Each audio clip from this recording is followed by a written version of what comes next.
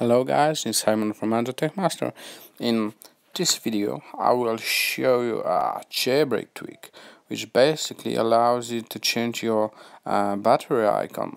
As you can see my battery icon at the moment is circular and it's very similar to the Android um, battery icon. I kind of like it, it looks a little bit better than the standard one. You can get percentage in, in inside the battery as well and it works with iOS 7 with any device compatible with iOS 7 I'm using this on my iPhone 5s and it works perfectly. So basically the the tweak is called alkaline and I will show you after you install the tweak you, you will have the settings uh, up there alkaline simple as that and all you have to do you just have to go to Vim and choose the Vim which you'd like. As you can see uh, at the moment you can get just two Vims for for the app and I've got two of them. You can see which one I, I've chosen.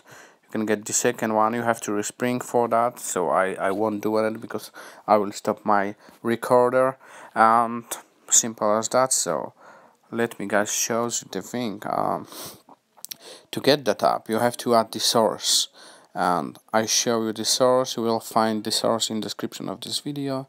And as simple as that if you go to sources the source I've got it on the bottom.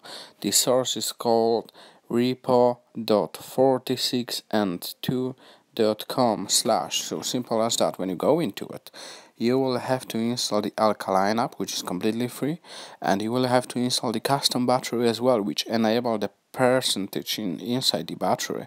So as simple as that just install them two and below the custom battery you will you will find those two VIMs which I got inside the settings. So install the so basically after you install the source just go to the source and install the alkaline custom battery and those both VIMs so you can choose the right battery for yourself. And that's it for now. Let me guys know what you think in comment section. If you like the video please subscribe to my youtube channel. And thanks for watching